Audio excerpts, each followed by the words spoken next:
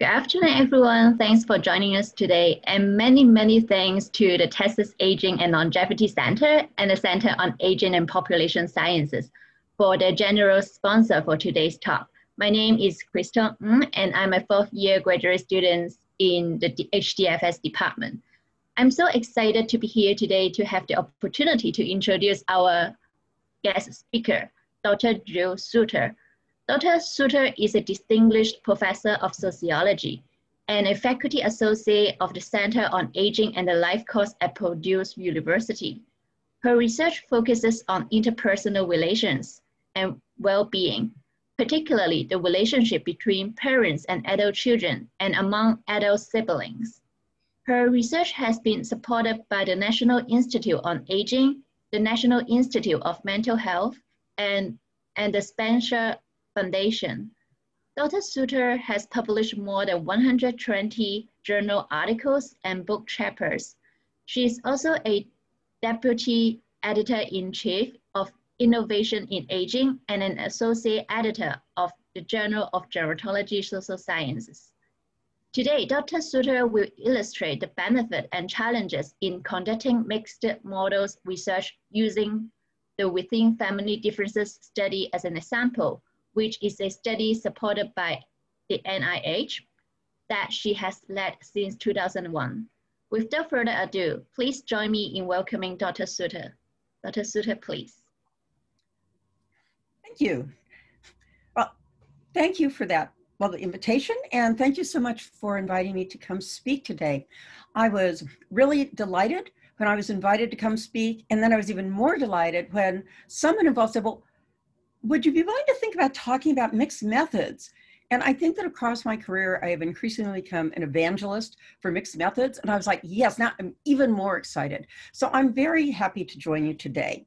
And I'm going to start by talking about sort of the way I put it is I call it how, well, one second, apparently, I, oh, sorry, I'm not sharing yet. No, I am sharing, but it is not letting me switch. Okay, sorry about that. Now it is. It was a little behind. Okay, what I refer to as how mixed methods found me. I sort of fell into mixed methods. And the way I fell into mixed methods was thanks to my mentors at uh, SUNY Stony Brook. Um, my two primary mentors were Mark Granovetter, who's known for, as you all know, the strength of weak ties, and Rose Laub Coser, who's known for her theoretical developments in role complexity in the family and, and in medical settings. And when I say those names, I'm sure you don't immediately think, oh, yeah, they are the leaders in mixed methods. However, they both use mixed methods for almost everything they did that involved data. And if you read Mark Granovetter's book on the strength of weak ties, you would see it is a beautiful study of mixed methods.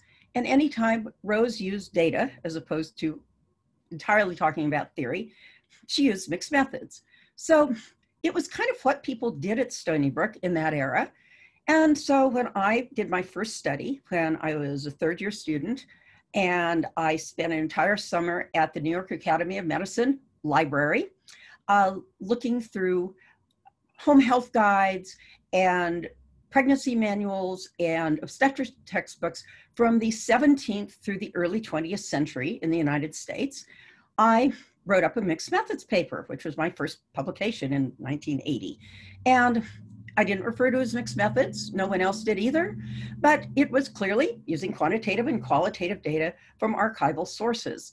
And I just kind of kept going in that direction. Uh, of the 11 studies I've conducted since I did, my, did that first project, 10 of them have been mixed methods. And the way I do mixed methods is what I'm going to talk about today, but I need to note that this is only one of many ways to use mixed methods. I think because this was what I sort of fell into, probably greatly from Mark and, and Rose's influence, is collecting quantitative and qualitative data from the same people or the same sources at the same time. But this is one of many different ways of applying mixed methods. Uh, people do it with collecting data from quantitative, you know, quantitative sample and a separate smaller qualitative sample. They use multiple methods, uh, multiple qualitative methods, multiple quantitative methods. All of these are different ways of doing mixed methods, and they all have lots of of terrific benefits. So when I talk about the way I do it today, definitely it's not the only way to apply mixed methods. It just happens to be the one that I've applied in my work and that, that I find is I find particularly useful for the kinds of complex family questions that I'm asking and that all of you who are who are on this today are also thinking about. Um, so why do we use mixed methods? For some reason, every time I try to change it, let me flip over, it does not, there, okay, now it's doing. Sorry, I seem to have some sort of weird lag when I'm trying to change slides. So why use mixed methods? Well, the designs can help you tell a story better by showing the, the processes that underlie these patterns of associations you find using standard quantitative approaches. And trust me, I am someone who adores those standard quantitative approaches. I've rarely met a regression coefficient I didn't love, but it just kind of lies there. It doesn't speak for itself very well. And with mixed methods, it's sort of, I see it as giving life to those quantitative findings that you have. It sort of makes your regression coefficients come alive. And it allows you to uncover patterns that are not only not revealed by the quantitative analysis, but sometimes that you have no idea were there because we all go into studies saying, I think I know what's going on, and that's why I find it interesting, I'm going to study it. Um, and then if the, your quantitative findings say what you were hoping you would, you have those nice, pretty regression coefficients that make your heart go pitter patter. And you're like, yeah, and so I know what's going on, and this is why those regression coefficients are there. But qualitative data help you know whether, in fact, yeah, you're right, that coefficient is there for the reasons you thought it would be, or either, gee, that coefficient is great, but the processes underlying it have nothing to do with what you thought was going on, or you get a puny little regression coefficient nobody could love, and you feel very sad because basically you don't think you have any findings. But then you look at qualitative data sometimes and you say, oh my gosh, there is something there. I just didn't, I wasn't looking for the right thing. So they're really, really cool. I see them as kind of fun tools. Okay. Oops. All right. So not surprisingly, I'm going to draw my two examples today from the Within Family Differences study. So let me give you just a little history of the WFDS in case you're not familiar with it. Um, so Karl Pillemer and I began the WFDS in 2001 uh, when we interviewed 550 older mothers and 750 of their adult children and collected quantitative and qualitative data on every single one of them. Um, now, obviously, the WFDS is having a 20th anniversary this year. And we had a seven year, our first follow up, which was a seven year follow up, 2008 to 2012, when we interviewed 420 mothers who participated at time one and those were 86% of the moms who were still alive at, at time two. And at that point, those moms on average were 78 years of age. And we interviewed 833 of their adult children. We obviously picked up some new kids, not new to the families, but new to us, uh, between time one and time two. And at that point, those kids were approximately 50 years of age. So when we refer to those as the kids, these are big kids. These are baby boomer kids. So these are fully fledged adults. And uh, Megan Gilligan and I are thrilled to, to, share that actually we are in the field right now for time three, uh, thanks to NIA again. And so we are literally, as we speak, uh, collecting data on the adult children who participate at time one and time two. And we brought a third generation in. We have the adult grandchildren this time. And we are no longer interviewing the moms in good part because more than half of the moms are now deceased since time two. And in fact, the focus primarily of time three involves bereavement issues. So we are, Megan and I are very excited about this. So it is now third phase as it hits the 20 year anniversary. So the first example I'm going to share is a study that we published just slightly over two years ago, and all my co-authors are there without whom this paper could not have been done, that was on um, studying conflict with mothers during caregiving and looked at whether there were differential costs of that conflict for Black and white adult children. So we had two central research questions. And the first was, are adult children's depressive symptoms predicted by the conflict that they have with their mothers regarding care during caregiving. As we all know, caregiving is probably the largest literature in social science at this point. But as people who study interpersonal relations and well-being, as I know many people who are watching today do, um, our first sort of go-to is, well, how is well-being affected by the interpersonal relationships? And there's surprisingly little focus on that in the caregiving literature, particularly in terms of adult children and parents regarding care. Um, sometimes on pre-existing relationship quality, but what's going on right then and how does that affect those adult children? And second, even though there is a quite a, a large and growing literature on race differences in the experiences of caregivers, there really didn't seem to be anything looking at whether conflict between care recipients and caregivers might differentially affect the psychological well-being of Black and white adult children caring for their parents. But we would expect that there might be, oops, jumped ahead. We would expect there might be a difference because we know that on average, when we look at the literature, Black families, particularly Black families in the later year, have stronger norms of cohesion and harmony and support. And so if there is conflict between mothers and their adult children during caregiving, this would seem more counternormative in Black than white families and therefore might have stronger effects on those Black adult child caregivers than white adult child caregivers. So our analyte sample for this study was the 279 adult children who were interviewed at time two, who reported that their mothers needed assistance for a chronic health condition or major illness or injury in the past two years. They identified themselves as having provided assistance, and the mothers of all the, of the offspring who were in this subsample uh, had been alive and interviewed at time two. So to measure psychological well-being, I'm sure you'll be surprised that we use the CES-D, which almost all of us use for one study or another and everyone's familiar with, so I won't describe it in any detail. To measure conflict regarding care, we asked each of the adult children, how often do you and your mother have conflict or arguments about the help you provide her? Very often, fairly often, once in a while, or never. And we decided to dichotomize this measure because two thirds of the adult children reported they had no conflict with their moms. And then there was an immediate follow up. And can you tell us a little more about this? And we found that we got a lot of information elicited by this question because, and there were no probes, it was just whatever you wanted to tell us and however long you wanted to take to tell us. So we often heard about the source of the conflict, um, we heard about how the adult child responded to that conflict. We heard about how they felt. We got lots of examples. Well, let me tell you about when we argue. It's about, and this happens, and then that happened. So we got a lot of really rich qualitative data from that question. So we began by looking to, without looking at race, by race, looking at whether conflict with mother regarded care. And we were looking for nice, as a interpersonal relations and well-being people, we were looking for one of those nice big fat regression coefficients that you can wrap your heart around. And you say, yeah, this really matters. And then we get this puny little thing.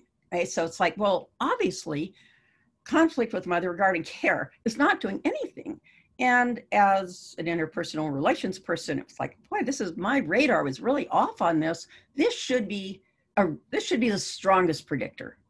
So what's going on? And as you can see, uh, we're controlling on everything else that we thought might predict depressive symptoms. So what's going on? Well, remember though, we think this might differ by race.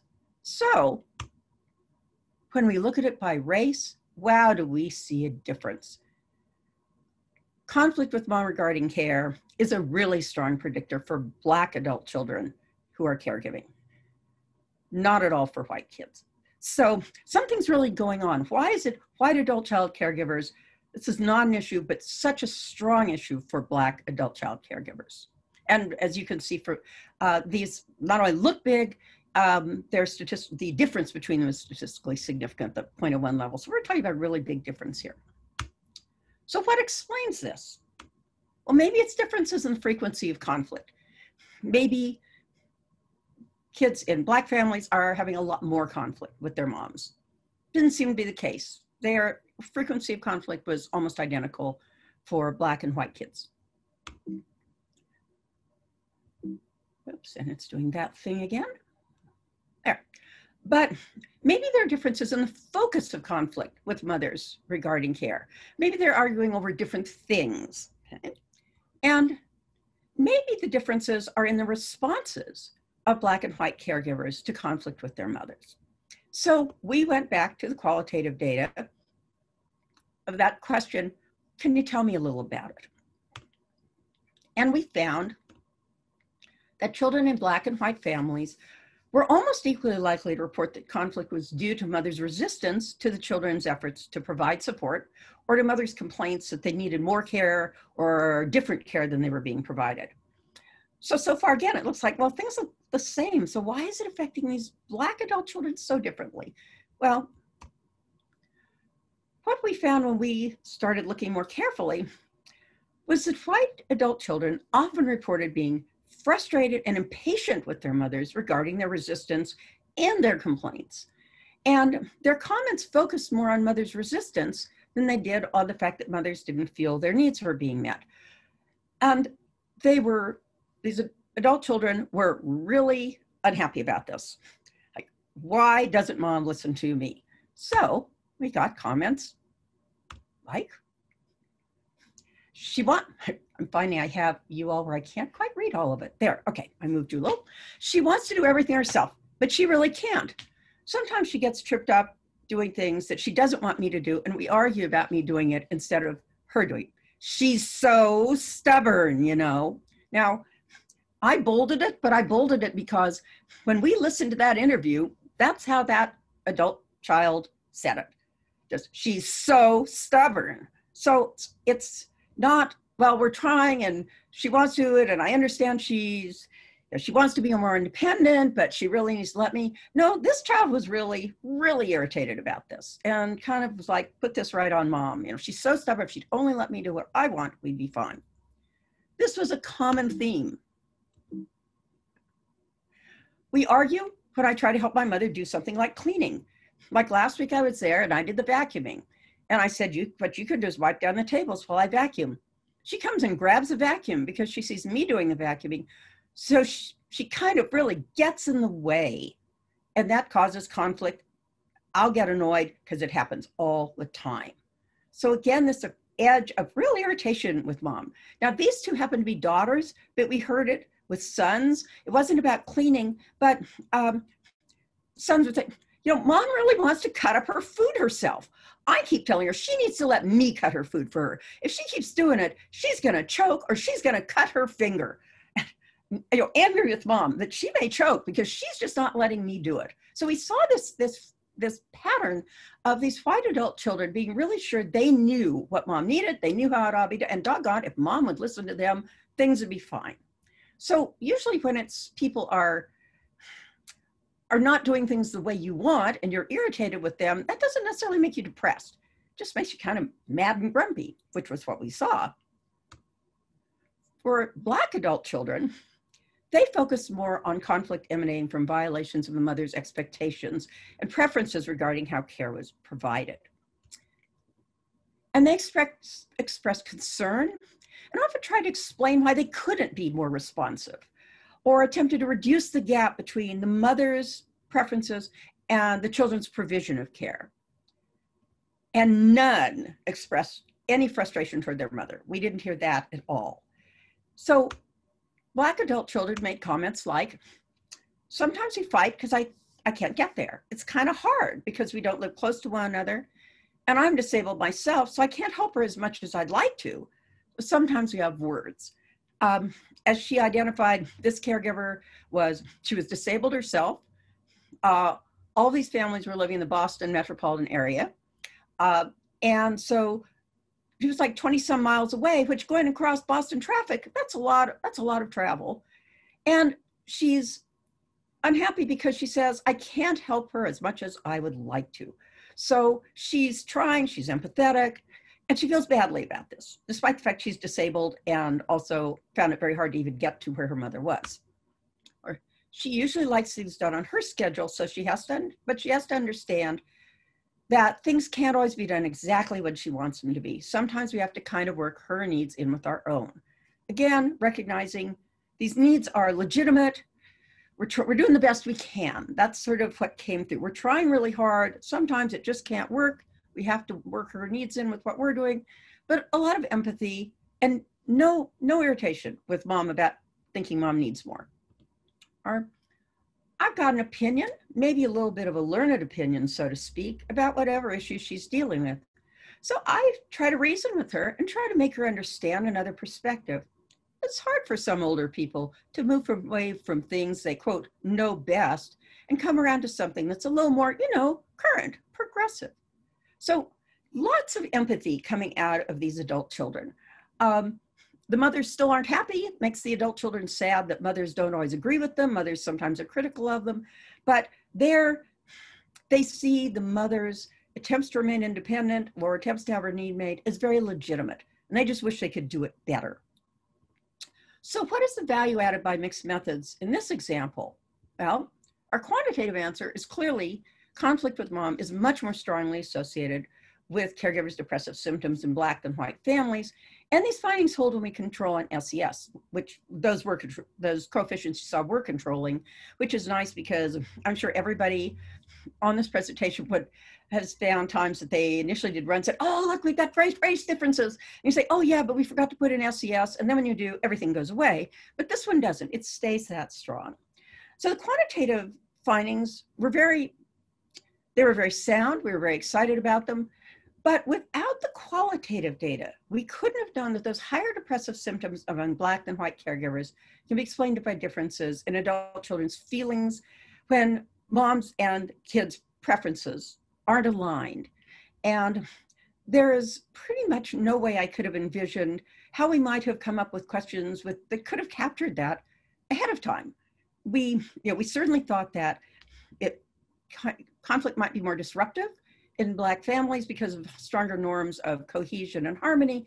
But who would have expected that white adult kids would disproportionately be saying everything would be just fine if they didn't have those stubborn moms who kept getting in the way? And it's a little hard to figure out how you ask questions of adult children or, you know, on a scale of one to five, how much do you feel that your mother is stubborn? And how much do you feel she gets in your way? It's kind of hard to know ahead. And it's hard to figure out questions that would really elicit what we really see in terms of these strong feelings of these the strong empathy from the Black adult child caregivers and a lot of irritation from these white adult child caregivers. So we think the value add is pretty clear. Now, this is one of those places I told Karen I would pause between examples in case anyone had questions before I go on to our second example.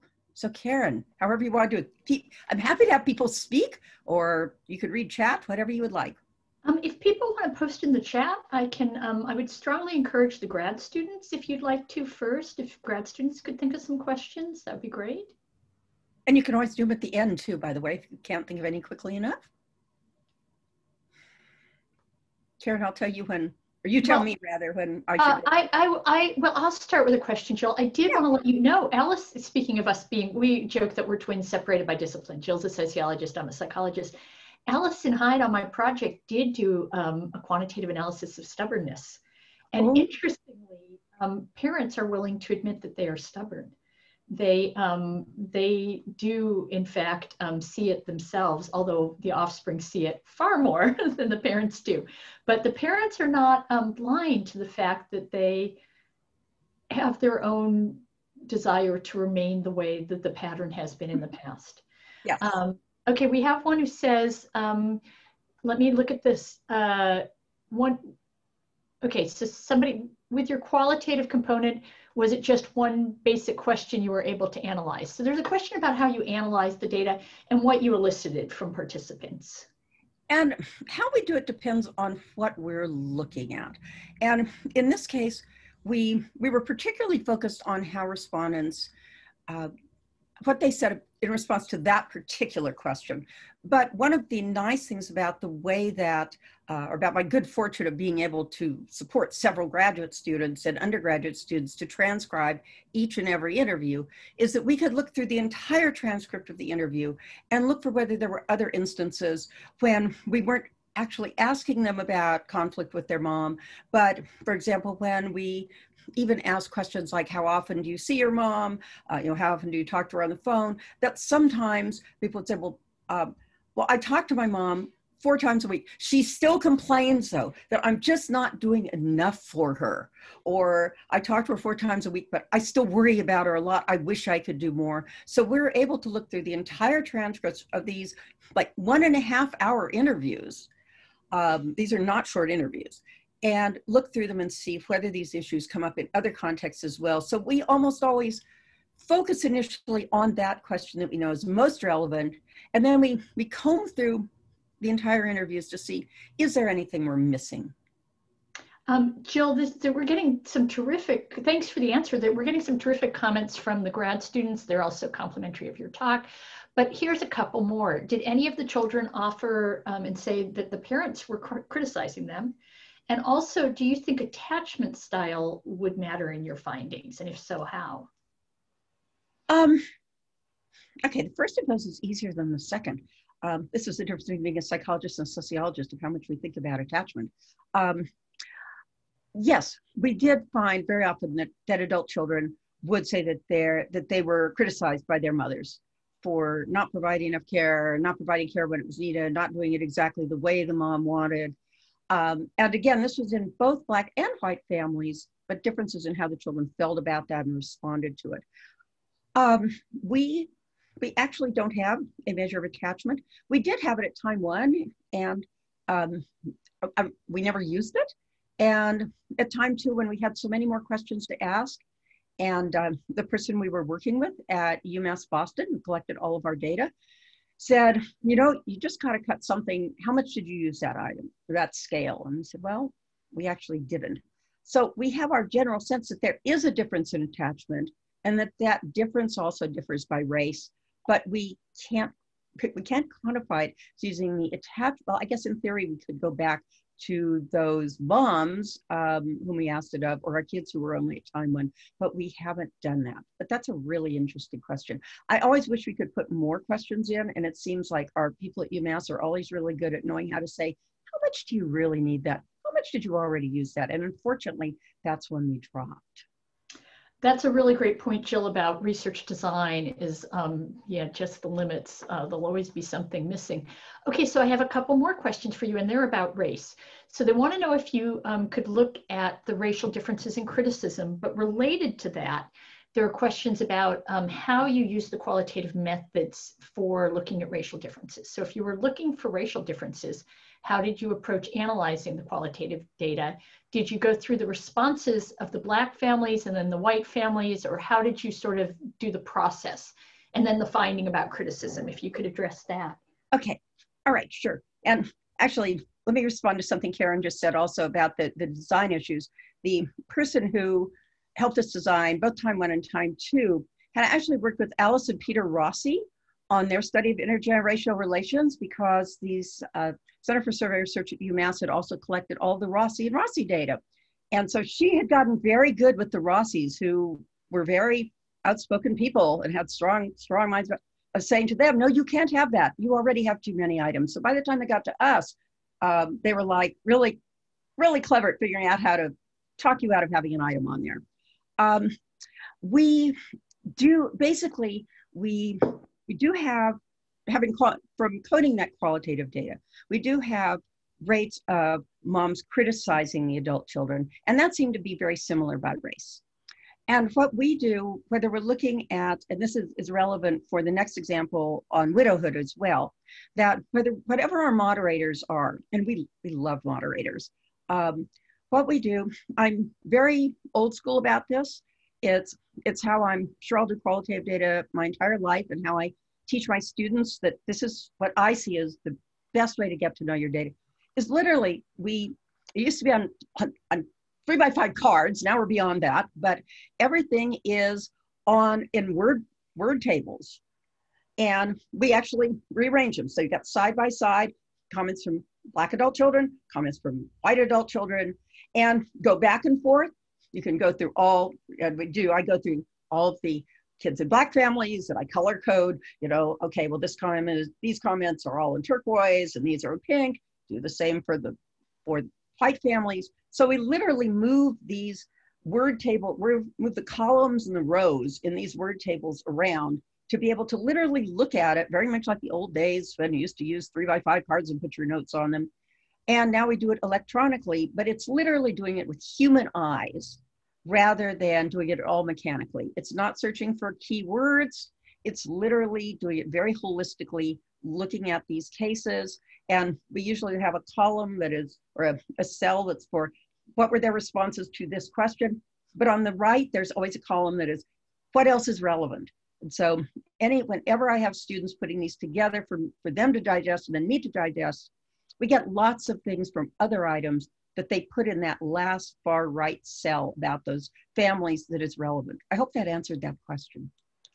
That was terrific and really, really wonderful questions. And so yes, very um, good questions. I appreciate all of them immensely.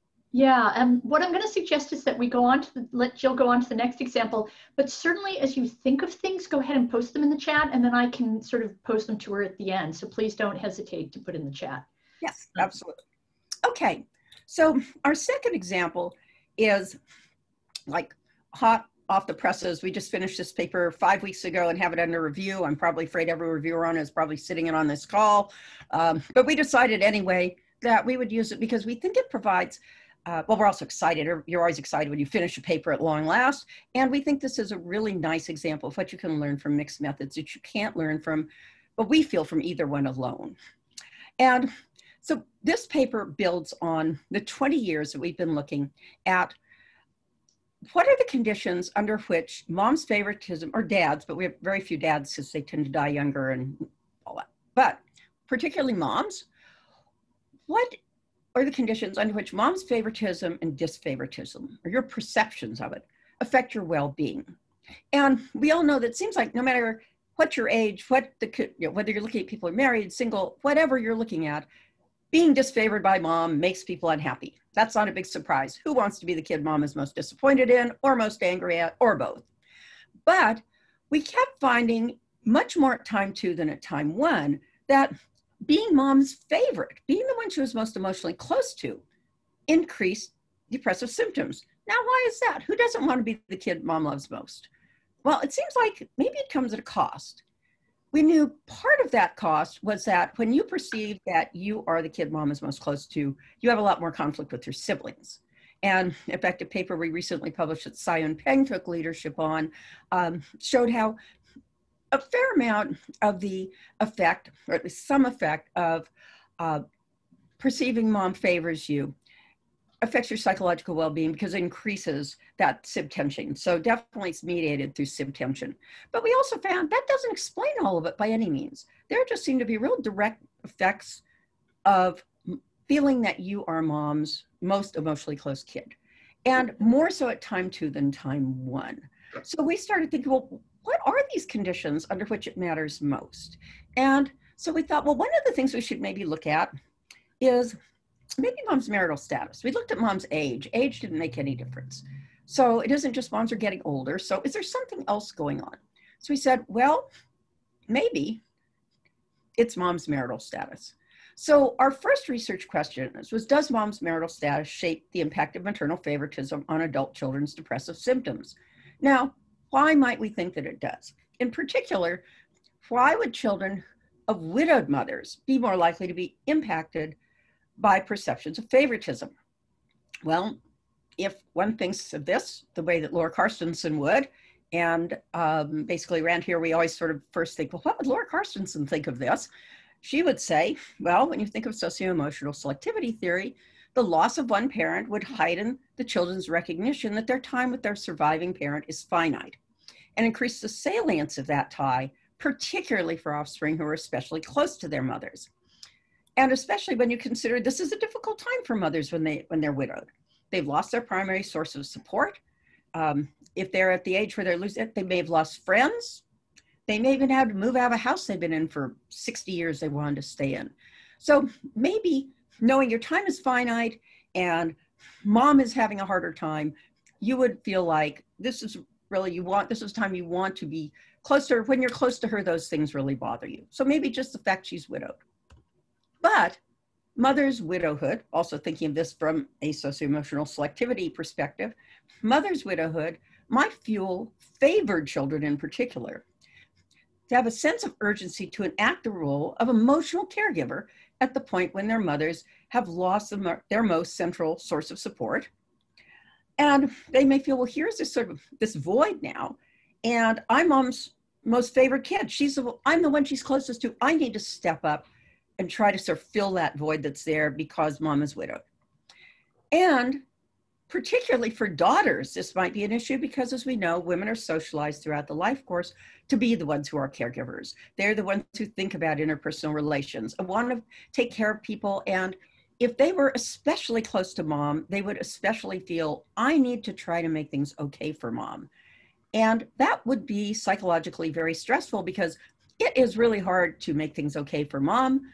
Mom is mom is well into her, eh, her 80s she's having you know, she may be having health problems. She's she's widowed. She may have lost friends. It's a really hard time to make things okay for mom. So maybe this would particularly be difficult for the well-being of daughters who would feel they should be the emotional caregivers at a really hard time which led us to having our second central research question which was are there gender differences in the extent to which mother's marital status moderates the association between perceived favoritism and adult children's psychological well-being so our analytic sample for this study was the 641 adult children nested in 273 families in which there were at least two living adult siblings. After all, we're studying favoritism, you have to have somebody else, some other sibling there. And mother was alive at the time of the interview of the adult child. And that mothers were married or widowed at time two, not divorced. Um, this is because number one, that group was smaller but also bear in mind, we started studying these moms when they on average were 70. And so these are not the baby boomers who got divorced a lot. This is the older generation who got divorced much less. And most of the women who had been divorced were divorced 30 or 40 years before the study began. So they'd been divorced in their 20s and we're starting to interview them in their 70s. So we felt that we just better to take them out of the picture. And they're a small group anyway. So Again, we use the CES-D to measure psychological well-being. And to measure children's perceptions of maternal favoritism, we asked to which child in your family is your mother the most emotionally close? And we followed up with why did you choose yourself? Or if you if you chose your sister Karen, why did you choose Karen? And each child was classified into one of two categories. Either that he or she had named him or herself, which is about a third of the kids, or that they had named a sibling or reported mom didn't favor anyone. Now, the reason that we use these two categories is we found repeatedly that when it comes to favoritism and disfavoritism, it's all about you. It's not, do you think that your mom really favored your brother Jeremy? Eh, doesn't make any difference in your psychological well being. The issue is, does mom favor or disfavor you? So that's why we uh, transform the variable this way. So we started by just double checking to be sure that this analytic sample looked like everything else seems to in our data, that yes, in fact, reporting yourself as being the child to whom mom is most emotionally close is associated with your having higher depressive symptoms. So a regression coefficient we can all love. Again, it's controlling on everything we found is relevant. Um, needless to say, in our papers, we have much more elaborate tables, but I kind of believe that in presentations, it's nice people have a chance of seeing what you're really trying to talk about. So in presentations, I always use these uh, smaller tables that just have what's important in there. Okay, so, so far, this looks like maybe there, maybe this is the same for everyone. But look what happens when we look by mother's marital status and child's gender. If we start on the left, we see that those are not regression coefficients you can get your heart around. There is basically no impact of perceiving that you are mom's closest child on your CES-D scores if mom is married. And it's the same for sons and daughters. So nothing if mom's married and nothing by gender if mom's married. But look at what we see on the right. We get a large difference that, again, that difference is statistically significant we have a really clear impact of perceived favoritism for daughters relative to sons, but only daughters whose moms are widowed. So, why are daughters but not sons' depressive symptoms affected by perceptions of maternal favoritism when mothers are widowed? Um, might there be differences in the meaning sons and daughters give to being favored by their widowed mothers? And in particular, might favored daughters be more likely than favored sons to see themselves in the role of emotional caregiver to their widowed mothers?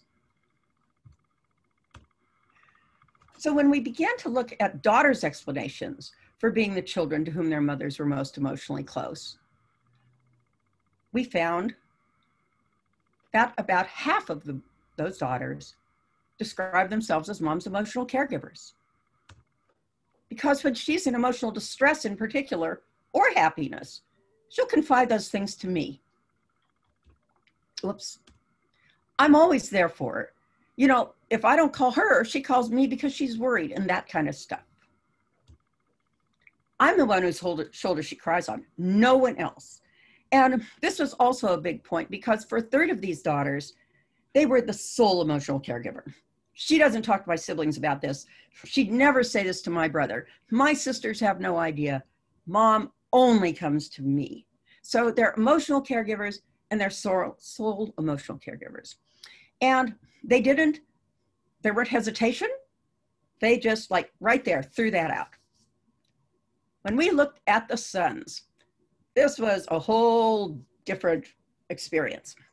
Um, only 20% of the sons who named themselves as most emotionally close to mom, only 20% of them said anything about providing emotional care or or emotional support to mom. And when you see what they said, you won't even be quite sure if they did that. We were like, okay, well, we need to, we can't just say, no, none of these sons did this, but boy, it, it looks different. So, for example, emotionally close. Um, by the way, we had no ums from the daughters. We had lots of ums from the sons, lots of long pauses. Emotionally close? Hmm, I'm really not sure. I guess it depends on the circumstances. Well, I could say myself, you know, if someone my mother knows dies, a lot of times she'll call me first. Emotionally closer? Um, emotionally close. And then we got really long pause here. Maybe me. I don't know. I don't know. I just, I don't know. Even though this son had just identified himself as the one to whom his mother was the most emotionally close. This is responses to the follow up question. Or, um, I'm not sure about this one, but I can feel. I'm not sure why, but, but, it, I mean, basically, but it's there. In fact, a third of the sons couldn't come up with any explanation as to why they were most emo- why their moms are most emotionally close to them. And these are about as warm and fuzzy as we could find.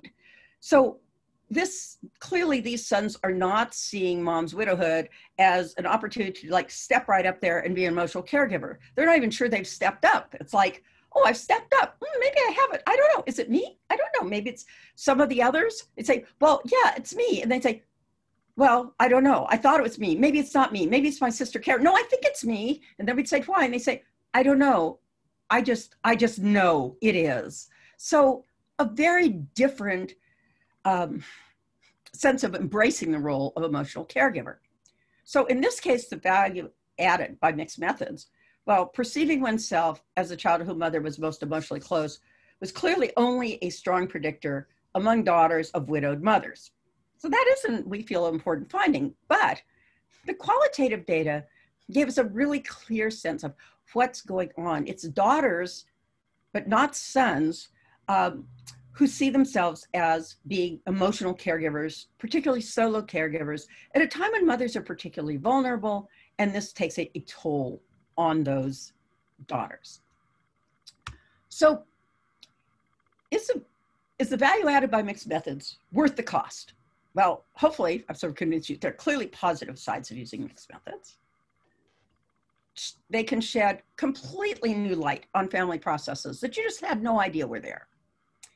And they, they sort of are like a, a nice sort of safety net of backing up and confirming what you think is going on.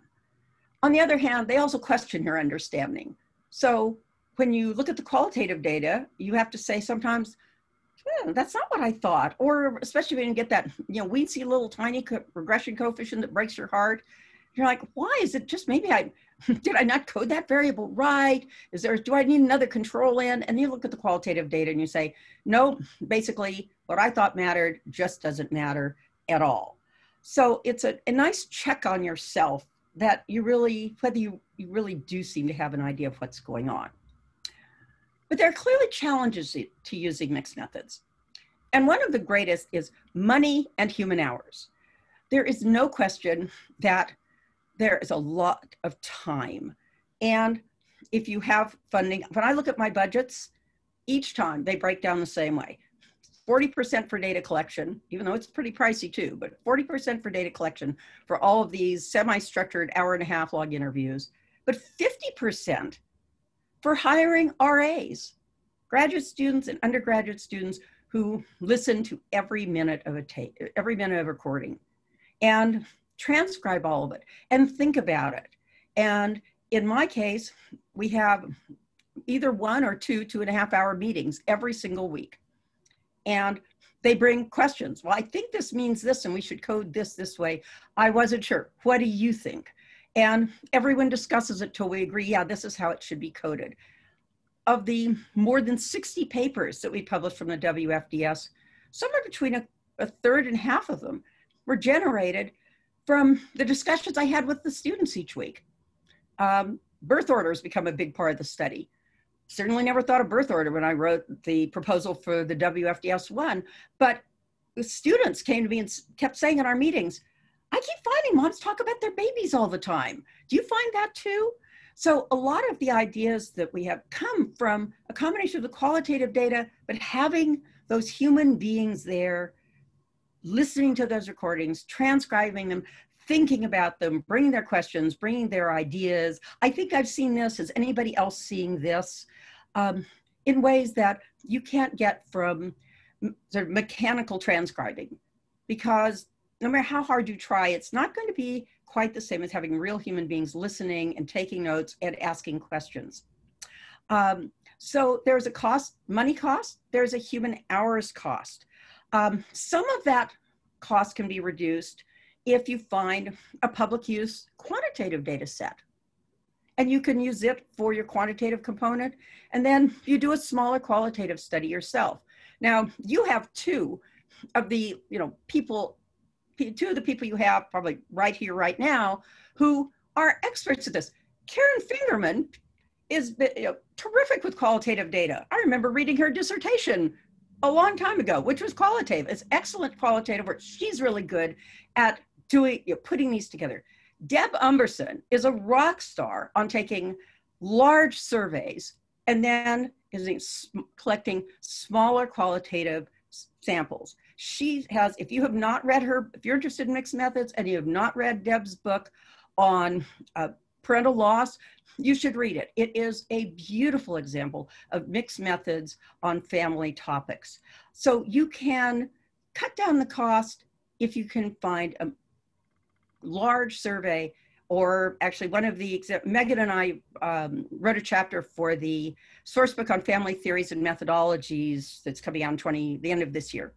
And we highlight several different examples in there in, in great detail. Deb's is one of them. And uh, someone who was interested in studying court processes and custody cases, they, they had quantitative data from open court documents. And then they actually hung out the courthouse and they interviewed people before and after their court hearings to get their qualitative data. And the two of them just did it themselves. So um, you can do it less expensively. It's the most expensive if you're trying to do big scale surveys and collect all the data, the qualitative data concurrently, which is what we like to do. Um, it's also done best with teams. And remember, the dyad is a team. You don't have to have 12 people. It may be easier if you do, although I find six actually. Six to seven seems to be ideal. 12 is a little much. But you can do it very well with two people. You can do it yourself. I did my dissertation that way. I interviewed 60 women and their husbands twice in two years, and these were each three hour interviews. And then I spent three hours sitting and transcribing and coding nonstop. Um, but I could do it. But I actually think I would have done a better job if I had a partner to do it with. So dyads are all you need, but teams really help with quality, with mixed methods research. And there is a greater lag following data collection. you are not going to be publishing your first paper from a mixed methods study six months after your last interview. Um, no matter how hard you work at it, and actually at, at the WFDS 3, we are closer to being on track with when the interviews are, the data are being collected than I have been in any study I've ever led before. But we're still probably a month and a half or two behind where the interviewers are. Um, but that's but there's always that lag. So these are not fast studies but you get to have an intimacy with your data in a mixed method study that you can't get by just having quantitative data. And again i love quantitative data. It is i have many of my most fun days are running tons and tons of mlm models. It is lots of but again those re, those regression coefficients just kind of sit there on the page and your qualitative data really jump out at you. So I think this is, you know, I have certainly been convinced from my work, I can't imagine doing otherwise. And uh, I hope you will consider, especially since you have such amazing mentors there at UT Austin who are so good at this, who can um, help you get started in using mixed methods because they are really artful at this. Uh, not that I'm sure Deb or Karen were looking for me to, to have 50 other students come to them uh, to try to mentor them on mixed methods. But you have some really extraordinary people who do this right, right within five minutes of you. So that is, I have to say thank you. Thank you all for coming. Thank you, a big thank you to NIH, without which this work would not be done. NIH, NIA specifically, has supported this project throughout. Uh, Purdue has been very good at those times that, uh, unlike some of you who never have, never seem to have a break between grants, uh, unfortunately, many of us also find sometimes there are breaks when we aren't funded. Purdue has been very good at bridge funding, and the Center on Aging and Life course has always helped me by uh, giving me some course release time so I could spend more time with my data. And thank you also to my entire project team whose names are up there, without whom nothing would get done. They basically are who run the shop. Um, I just sort of sit there and they're the ones who do all the work. And um, so a huge thank you to each and every one of them. So I will stop. I haven't even checked my time. Don't tell me I'm 10 minutes over already. We have time for um, maybe a question or so if, if somebody has one.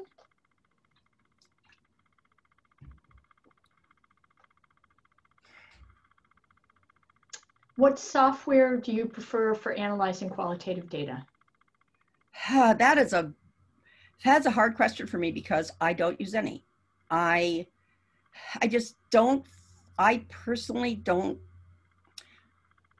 I feel like it puts, for me, it would put more, it would not, I have to get really close to the data, literally be reading all the, tra the transcripts to do the kind of analyses that we do. For me, I feel like I have, I thought a long time about making a switch and I was like, this would take me away from the sort of holistic approach that I try to use to it. Um, I do pull out, so I will I will select particular cases. I mean, I'll select, all right, I want cases that have this, this, and this characteristic. Mom is widowed, uh, widowed daughters, widows, and pull them out. And then we actually pull those transcripts and organize them into tables. But I have never felt that there was a qualitative software that I felt would, that would keep me as close to the data as I feel by using these um, kind of standard classic ethnographic approaches. Um, so we are getting a little bit short of time in that um, one thing I did want to ask, uh, so just so you know, I should really have thanked the graduate students from the Texas Aging and Longevity Center. This talk was initially initiated, and in fact, they wrote a grant to um, be able to uh, sponsor the talk. And so a huge shout out to the Graduate Student Council from TALC. And um, yes, yay. Um, but I also, um, before I wrap up, I did want to ask Crystal, I know that y'all are having a graduate student meeting with Jill around 1.15. Can you tell the graduate students how to, you know, get to that meeting or put it in the chat or something? Yeah, I can put the link in the chat. It starts at 1.15. So if you have more questions or want to have a more personal um, discussion with Dr. Suitor, you are welcome to join. Yeah, we, absolutely. We, Please do. And Jill, is is 115 still okay with you? Do you need oh, a little more? Okay, 115 is then when the graduate students will be doing it. I did want to say, because Jill raised it, um, Jill was the first person to cite my work ever. And I remember it and I will remember it my whole life. So you should try to cite junior scholars because it has the kind of impact where like on their deathbed, they're going to be thinking about you. Thank goodness for so-and-so, they cited me initially. Anyways, or at least when you retire. So, um, so anyways, I, I wanted to um, thank Jill for that and also thank and it's very hard not to continue citing Karen's work because I think half of the work that that's done in the entire field is Karen and her group. So oh, well, you were you were very kind, and there, uh, then but I followed Jill. I've followed Jill my whole career, so I want to thank you for that really really interesting, very illuminating, just terrific talk, and I hope everyone will join me in uh, um, in thanking Jill. Thank you, Jill. Thank you for having me.